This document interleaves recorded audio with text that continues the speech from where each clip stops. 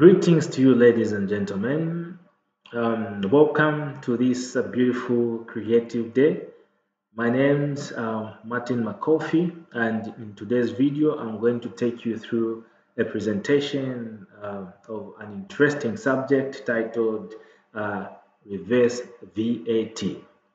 But before we go into this subject, Reverse VAT, there are just two things I want to uh, uh, mention or recap the firstly thing is uh, I'm encouraging each and everyone out there that please, as we go into public places, may we remember to carry our face masks everywhere and put them on. Secondly, let us remember to wash our hands regularly. If at all there is no water, please remember to move at least with a, a, a bottle of sanitizer and sanitize your, your hands at all times to save yours and other uh, people out there. Because this coronavirus disease i'm sure by now you understand what it is capable of. It, it, it does not choose it does not age it takes out anyone. It can either take you or me if we do not encourage each other and practice uh, these uh, rules and regulations which have been provided to us by the World Health Organizations, by uh, in Zambia, the Ministry, uh, Ministry of Health in Zambia, and also the, the rules and guidelines which have been provided to us by uh, our employers, our employers. So it's really important. Secondly, it's a recap for those that have been subscribing and following my channel can bear and agree with me. The, we, we talked about the pay as you earn, which is the personal income tax, where employees are obliged to pay um, this pay as you earn or personal income tax at three different rates if they exceed the threshold of uh, 4,000 kwacha, of which we said the rates are 25%, 30%, and 37.5%. Secondly, we spoke about NAPSA, where uh, the employee is obliged to contribute a 5% from his gross income, as well as 5%, the employer contributing 5% on behalf of the employee, which makes, makes it a 10%. And we also spoke about the national health insurance, where the employee is required to um, contribute 1% of his uh, basic salary, as well as the employer is obliged to contribute 1% on behalf of the employee, which makes it 2%. So those are the two major things I just wanted to, to, to, to, to remind you on. And um, moving on to today's subject, reverse uh, VAT. The big question is, what is reverse VAT. So if you want to understand what this uh, uh, reverse VAT is, please come with me with a bit of uh, knowledge and creativeness uh, we might understand together. So um, as I pose the question, what is reverse VAT? Um, let me open one slide think this will help us. So as it says uh, reverse charge VAT presented by myself, Martin Makofi. And then we're going to go on the second slide. Uh, that's myself there. Hmm, okay. Martin Makofi reverse charge VAT. Okay. Let us see a table of content and see the few things that we're going to discuss about today. So if we open here, we see that uh, we've got a table of content. We want to understand what is reverse VAT. Then secondly, we're going to discuss also on um, what services are liable to reverse VAT. Uh, thirdly, we're going to discuss about accounting for reverse VAT, uh, tax point relating to reverse VAT, and how can reverse VAT be avoided. And how do we appoint a tax agent. We'll also talk about registration of the tax agent, accounting for VAT by that tax agent, obligations of the tax agent, and also agent's fees. How are agent's fees taxed? How, how do they come into play? Then we're going to do a very scenario example question so that we understand in what form does a reverse VAT come into play. Okay, so to move on, our first slide says, what is reverse VAT? We want to understand this reverse VAT. So we are saying that reverse VAT is a transfer of liability to account for and pay value added tax on imported services from the person making the supply, the supplier to the person receiving the supply, the recipient. So from this definition, you should see that there is a transfer of liability moving from one person to another.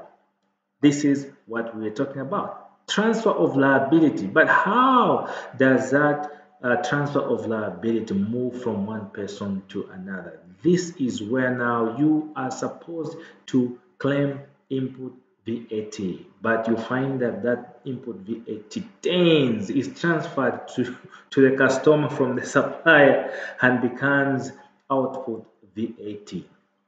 Okay, we move to the second slide. Services liable to reverse VAT. What services are liable to reverse VAT? So services which are liable to reverse VAT uh, is um, we say reverse VAT is levied on all imported services which are provided by a non-resident supplier where a tax agent has not been appointed. A service will be considered imported if it is 1. Performed or undertaken in Zambia. 2. Utilized or if the benefit of its supply is for a recipient in Zambia, regardless of where it is performed. These are the two fundamental principles you need to know for a service to be liable under reverse VAT. One, it should be performed here in Zambia itself. Number two, the services should be utilized or if the benefit of the supply is for a recipient in Zambia regardless of where it is performed. But what are some of the examples? What are some of the examples that we can uh, relate to be liable to reverse VAT? So examples Number one, we are talking of management and consultants services. Management and consultant services that are coming uh, from outside the country. Number two, technical or advisory services. Number three, it might be marketing information and sales promotions. Number four, inland transportation services. Number five, building, construction, and constructing, etc., as well as installation of services. So such kind of uh, services, these are services that attract reverse charge VAT. Okay, moving on. We have a note on reverse VAT. Some of the important things that you need to note on reverse VAT is that an importation of an exempt service by a taxable supplier is not liable to reverse VAT. What does this mean? A good question I would ask you, the public, is that if you're exempted, if you're exempted, what does it mean? It means that you're not liable. You're not liable to pay anything. You are not liable to pay anything. So in this case, your threshold, meaning one, you are maybe not registered for uh, value added tax. Hence, you are exempted, just like the diplomats, the ministers, the presidents. You see that they are exempted to a number of things. Huh? Same here, an importation of an exempt service. If you are importing here in Zambia a service that is exempt, you will not be liable to reverse VAT. Secondly, an importation by a person not eligible to register based on nature of supplies, exempt supplies, or nature of a person, privileged person, is outside the scope of reverse VAT. Okay, you are doing an importation. A person that is not eligible to register based on the nature of supplies. It's the same, exempt supplies, you will not be liable to reverse VAT. A supplier dealing in taxable supplies but not registered due to not meeting the registration conditions under Section 28. Taxable turnover below threshold is outside the scope of reverse VAT administration. I just mentioned earlier, you are not meeting the, the, the, the, the, criteria or the registration conditions under Section 28. One, you are not registered for VAT. How can reverse VAT apply to you? It will not apply to you because you do not meet the conditions. Because to meet the conditions of uh, VAT registration, you first need to be able to um, reach a threshold of 800,000 kwacha per annum uh, or 200,000 kwacha per quarter, which is three months. You should be able to make a minimum of 200,000 kwacha for you to be registered for VAT. Hence that point. We move on. How do we account for reverse VAT? This is a very important uh, subject. We need to know how to account for reverse VAT. So, the recipient of an imported service simply raises a tax invoice based on the value of the service, which is received from a non-resident supplier. The value of the service is the taxable value on which VAT at 16% is to be added and declared as output VAT on the return. The reverse charge cannot be claimed back as input tax. Now understand the concept which is here is that reverse VAT can only apply if I am in Zambia, for example, and you are a non-resident who is outside Zambia. You are a non-resident that is outside Zambia. So I want to import your services. Let's say I'm a farmer.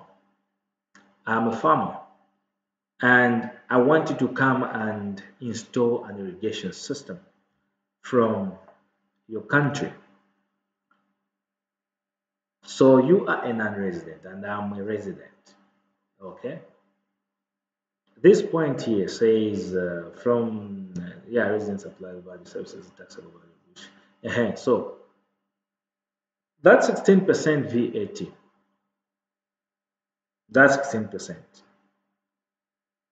If you raise an invoice to me directly, you raise an invoice to me directly as a non-resident, there will be no claiming of import VAT. Hence, that VAT 16% I'm supposed to claim will be added back onto the cost of this service and I will have to pay it as output tax in my return.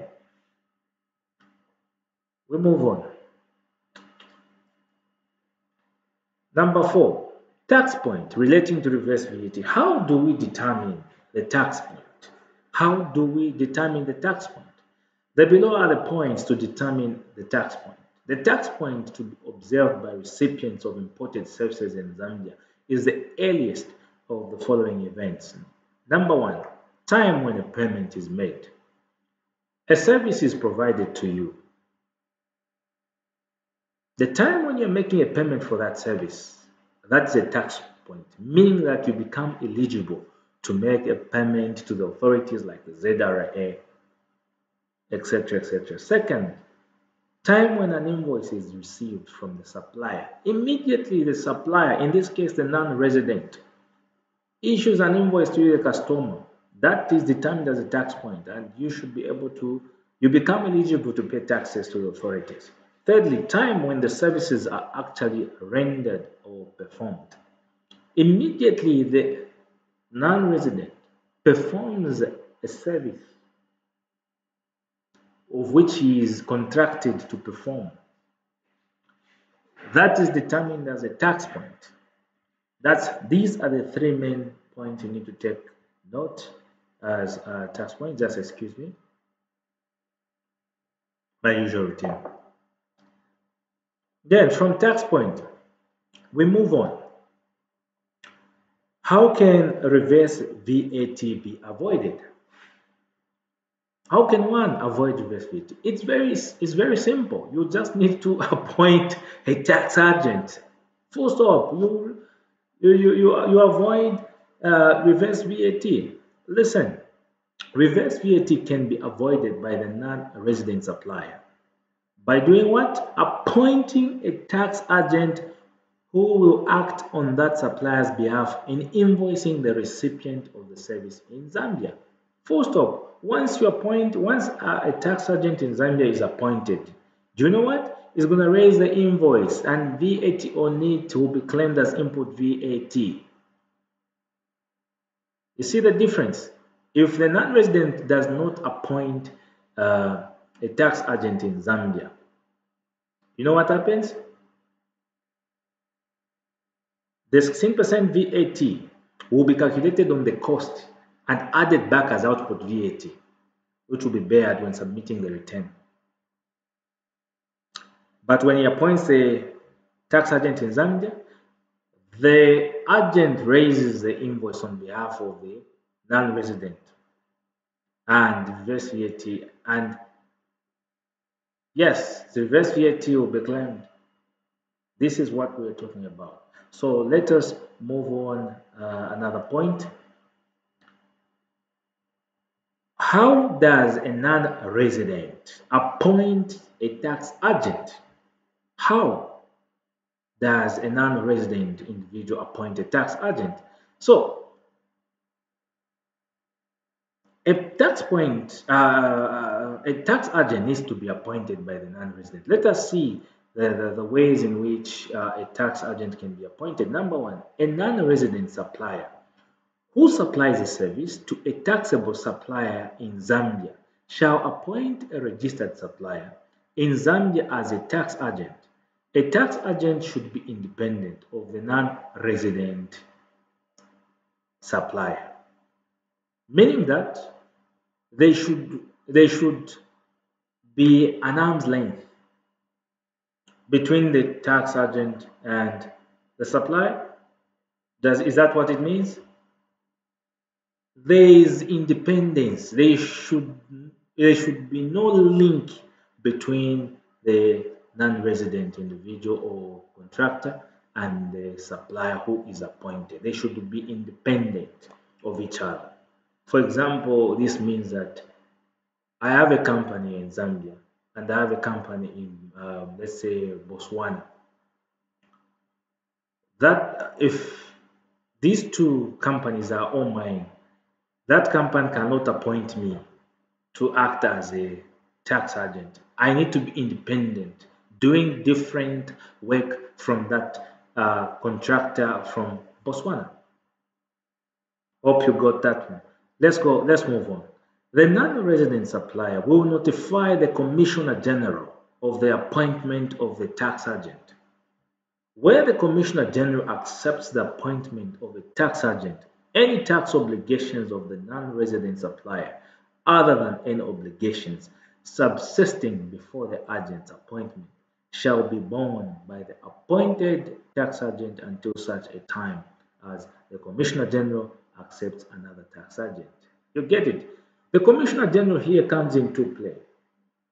I hope you know who the Commissioner General is or where he's coming from. This is the big man in tax authorities, like in Zambia here. We have um, currently Mr. Kin Kingsley Chan is the Commissioner General at ZRA. That is the man we're talking about here, a man that's going to, to approve your appointment of a tax agent. Okay?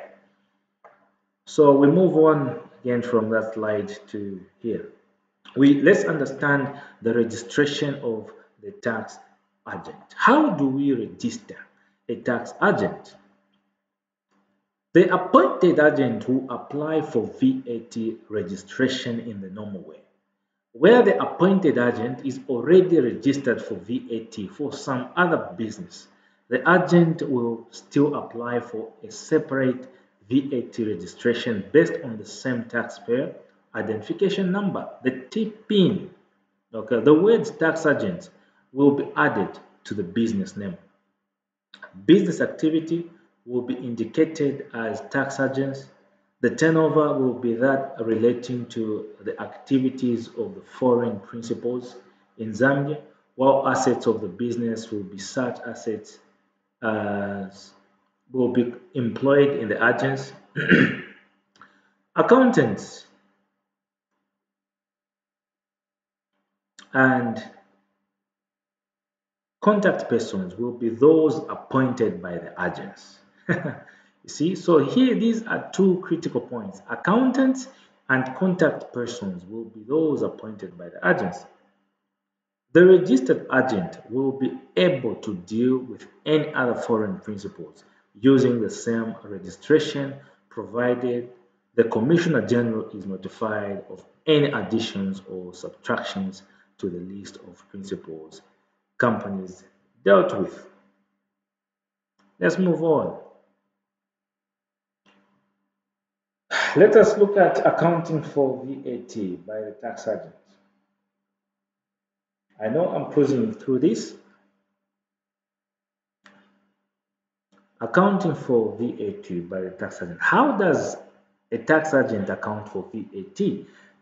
This is an assumption that now the non-resident individual or contractor has appointed a tax agent here in Zambia. How does that agent account for VAT? So the answer is that the tax agent will arrange for tax invoices bearing details of the agents.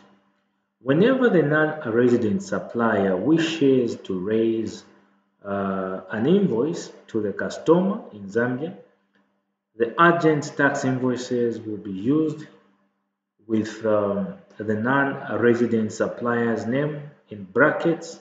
For example, a tax invoice issued by Zambia Revenue Authority ZRA, tax agents for their principal, XYZ consultants for consultant services rendered will appear as follows.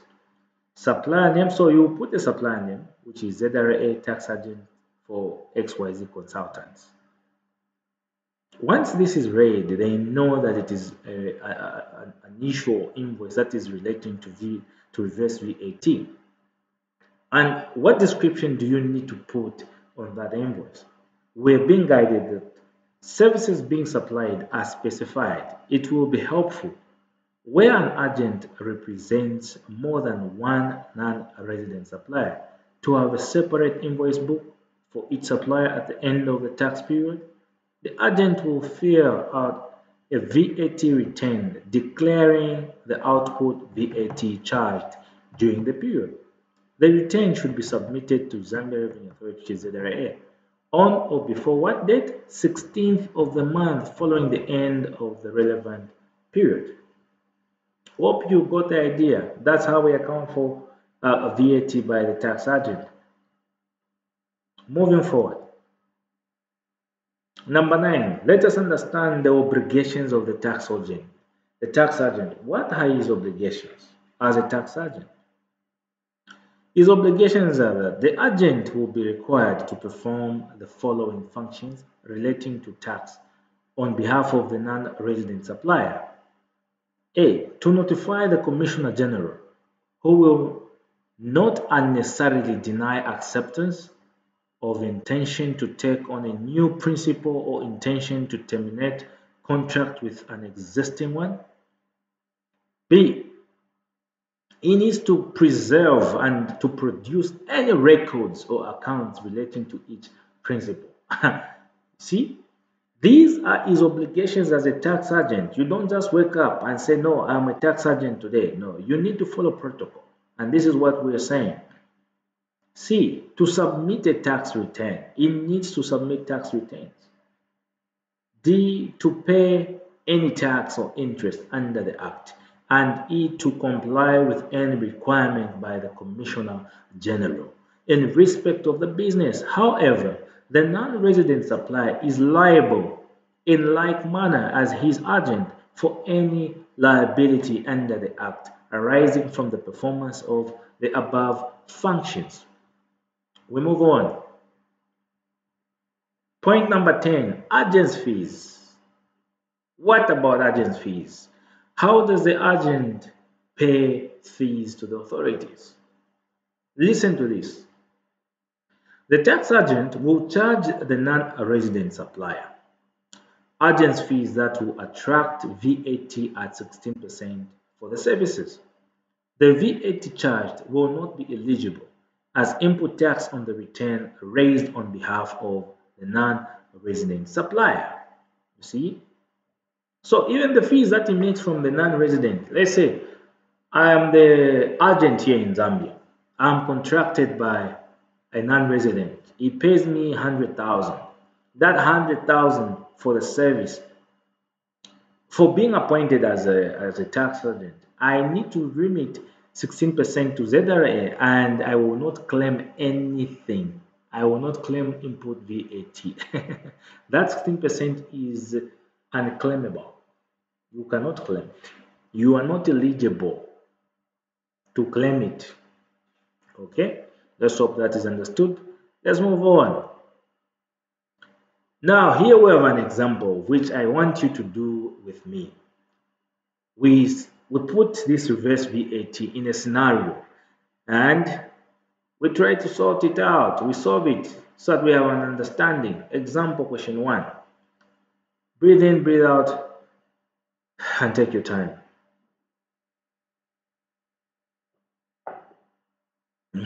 Okay, so here, here is an example. it reads, you are employed in a firm of chartered accountants.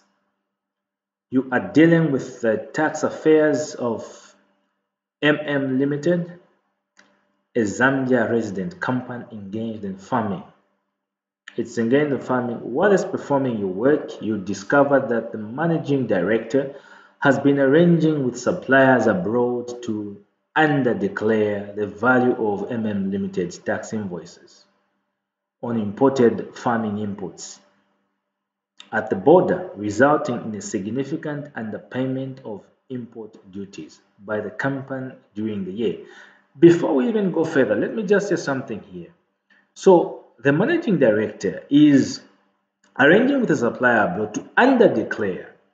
Please, I'm urging uh, each and every uh, companies out there, under declaring of tax invoices is a crime okay? Because you are committing what we call fraud which is leading to tax evasion.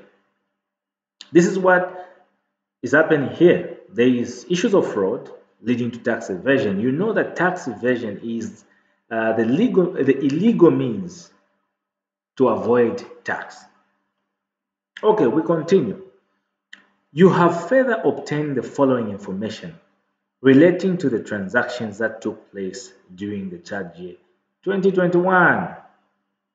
You have been given two points. Point number one says MM Limited paid rent of 16,200 net on 1st October 2021 for accommodation for a new director. You are paying rent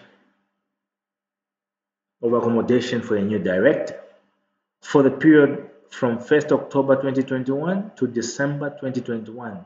The tenants agreement was entered into between the director and the landlord.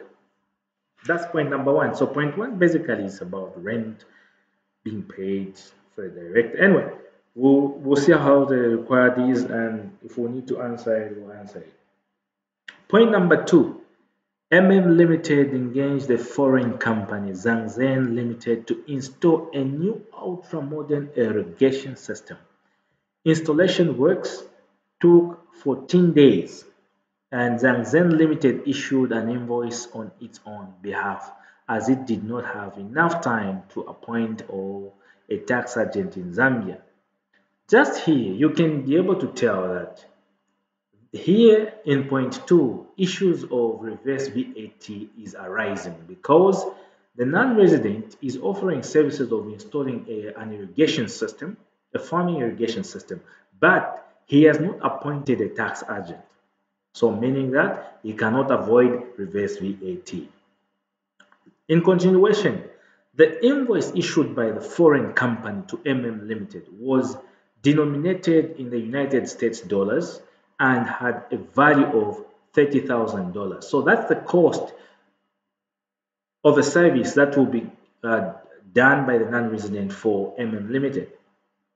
$30,000. The exchange rate on the date of issue of the invoice was 10 kwacha per dollar. What is the question? Let's see the question. The question says, required advise MM Limited using appropriate supporting com computations of the taxation implications of each of the above transactions. Transaction number one, what will be the taxation implications? And transaction number two for the end of 31st December. So we want to find out the taxation implications for point one and point two. Okay, so what we do is um, what we are going to do. We'll read the required once more for, for, for clarity's sake and understanding, then we move on to so sort it out. So uh, required says advise MM Limited using appropriate supporting computations of the taxation implications of each of the above transactions. One, to 2 for the year ended 31st December 2021. Okay, so we go back on the information and see. Can I open another tab where we do our computation? Here, a blank one here. Yes. So point number one,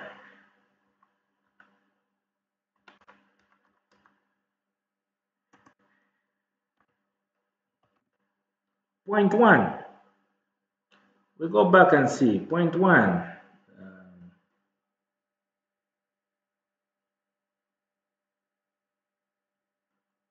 we're told that MM Limited paid rent of 16,200 net. Understand that one. He paid what net?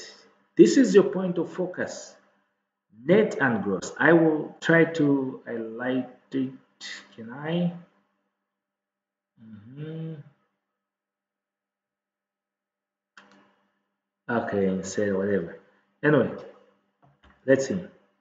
Um, 16,200 net on 1st October 2021. So, if rent has been paid on behalf of the director net for the period from 1st October 2021 to December 2021, the tenants agreement was entered into between the director and the landlord. Another point to note here, the who is in agreement. It's the director and the landlord. But who has paid the rent? It is the employer. So meaning that the government or the Zambia Revenue Authority, their interest is to tax. Who are they going to tax? The employee or the employer who is the director? Or the employer or the employee who is the director. ZRA will tax the employee, the director, because that's those are the people who have entered into the agreement, the director and the landlord. Okay, so how will this be taxed? Will they be taxed net of 16.2? No, no, no, no.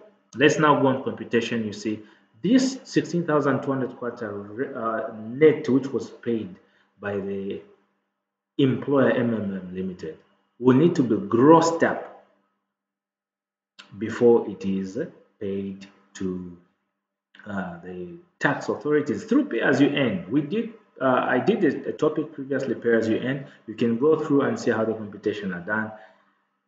Yes, so we move on and try to do this computation. So we'll say um, MM Limited will be required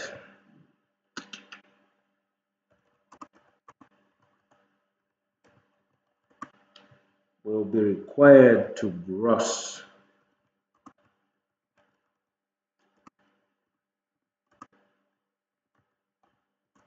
will be required to gross up rental income okay?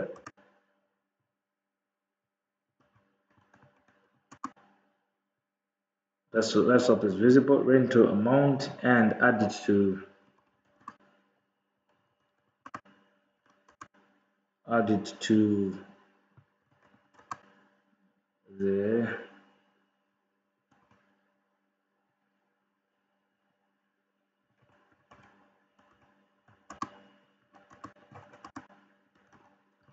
of a director. Okay. Of a new director.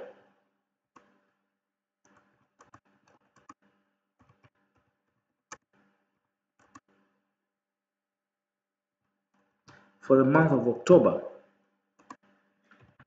2021 mm -hmm.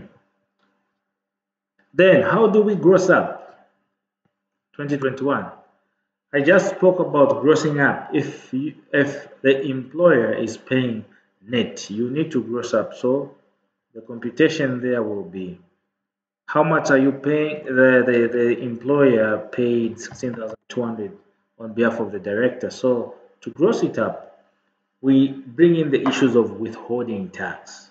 Rental income has a component of withholding tax, which is 10% of what? 10% of your rental income should be remitted to Zambia Revenue Authority. So grossing up will be this, we gross up by 100 divided by 90, we remove 10%, 90, which should give us 18,000, 18,000 kwacha.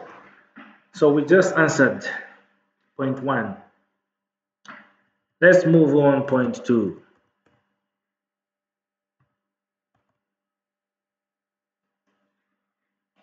Let's move on on point two.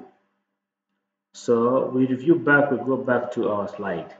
Point two says MM Limited engaged the foreign companies and Zen Limited install. Now, this is where the issues of reverse VAT is.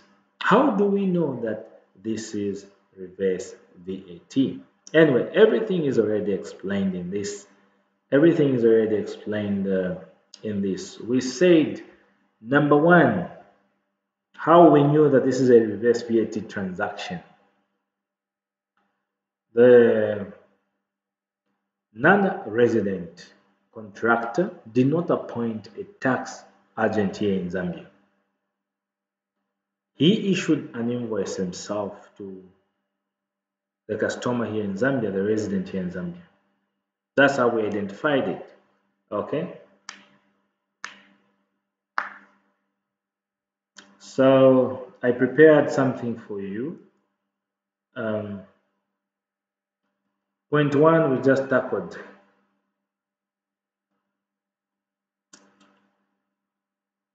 Mm -hmm. Solution number one, already done. Rents, MMPLC will be required to do what? To gross up the rental amount and add it to the emoluments of the new director for the month of October 2019, an amount of what? 18,000. I just showed you how that was computed. And this will be added to the emolument of the new director and taxed under pay as you. Second point, the grossed up rentals paid by MM Limited on behalf of the directors will be allowed as an expense for income tax purposes. But for reverse VAT, yes, there are five major points that come into play. Okay, five major points. Number one, reverse VAT will apply to this transaction because the installation service provided by the foreign companies and then limited qualifies to be classified as an imported service and Zhangzheng Limited did not appoint an agent to act on his behalf for VAT purposes. You see, if the non-resident does not appoint a tax agent to act on his behalf for VAT purposes, that is purely, purely reverse VAT. Point number two, what will happen is that MM Limited will have to charge itself reverse VAT of 48,000 kwacha. How does this 48,000 come into play? Remember the Zambian tax VAT uh, rate is 16%. So this was in dollars, mind you. Remember, it was in dollars, $30,000. So $30,000 will have to be multiplied by the rate in kwacha, which gives us 300,000 kwacha. This is why you're seeing this 300,000 kwacha here is coming from here. 300,000 kwacha. So multiplied by the rate, the uh, VAT rate here is 16%, 48,000. Now you see the difference. This 48,000, instead of it being claimed as import VAT, it cannot be claimed because uh -huh, because of what? It will not be claimed because this becomes automatically becomes output VAT. So instead of you claiming it, it will be added in your return and you submit it to the Revenue Authority and pay it. You see, it will be included as part of MM Limited as output VAT. Simple. Number three, the VAT will form part of the cost of the installation as it is not claimable.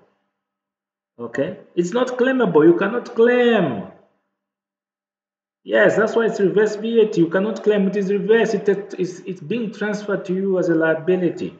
So you find yourself paying it as, as uh, the customer, the recipient. Point number four, MM Limited will recognize total capital expenditure of 348,000. You see, the full amount, that is the cost at which you, uh, you paid for the service of the installation plus the VAT amount, which will be 348,000. That what that's what will be recognizing uh, as total capital expenditure. But there's good news of capital allowances. You are eligible to claim. You are eligible to claim capital allowances at 100%. Reason being because you are dealing in farming. Implements uh, implements proper uh, equipment implements planned in farming claim that what 100% so here we are told mm limited will recognize total capital expenditure of 348,000 and this is made up of cost net of 300,000 times yes and VAT of 48,000 and mm limited will claim capital allowances of 348,000 that's the beauty you spend this but as long as you're in farming you are able to claim that the llama in total 348,000. Point number five, further MM Limited will have to deduct withholding tax of 60,000. What is the rate for withholding tax? It's 20%, 20% of the full cost and remit it to the Zambia Revenue Authority. So that's the only loss you make, I think, the withholding tax component because you're dealing with a non-resident. So the rate for dealing with a non-resident is 20%. So 20% of the total cost will be remitted to Zambia Revenue Authority. Well, uh, this is where we come to our end of this uh, presentation. My name is Martin Makofi. Uh, looking forward to do uh, more topics, but only if you people out there, you subscribe and like the video, follow my channel, and please comment what type of topics you would like me to highlight or talk about. Thank you so much for your time. Good day.